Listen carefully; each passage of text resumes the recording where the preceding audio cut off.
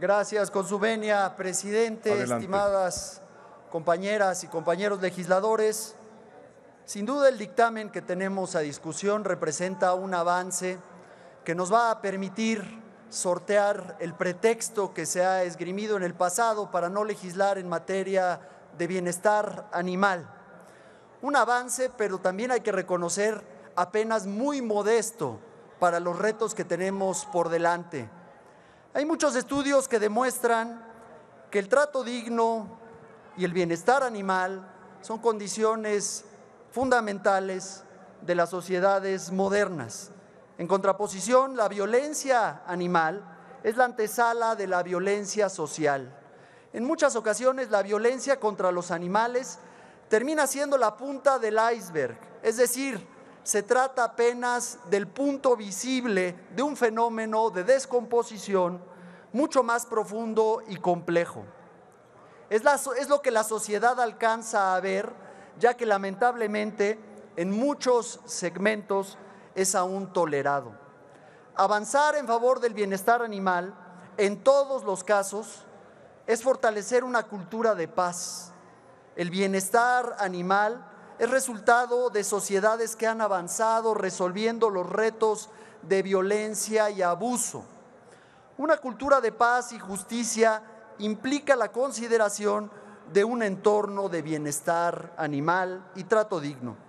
La dignidad y la paz se construyen y se enseñan en todos los niveles.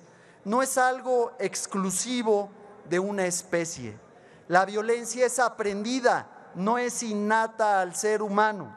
La violencia es violencia sin importar el instrumento y el objeto al que se le aplica. En las sociedades más civilizadas y avanzadas se está caminando con mayor conciencia de respeto y bienestar animal.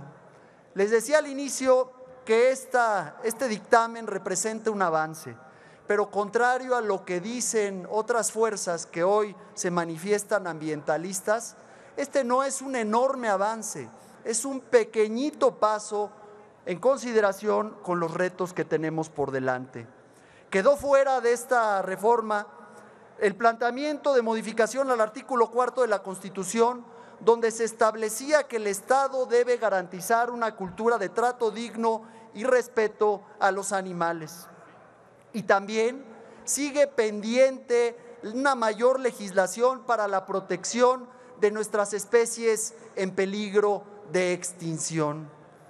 Recientemente la Convención sobre el Comercio Internacional de Especies Amenazadas de Fauna y Flora Silvestre, mejor conocida como CITES, castigó a México por no proteger a la vaquita marina, al, al calificar como no adecuado el plan del gobierno federal para evitar la pesca ilegal de totuaba y proteger así a esta especie en peligro de extinción.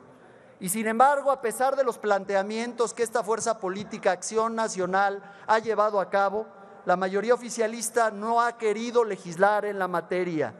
Esta legislatura puede ser la legislatura de la extinción de la vaquita marina. Por todo lo anterior, insistimos en la pertinencia de acelerar y profundizar en la legislación del bienestar y trato digno animal.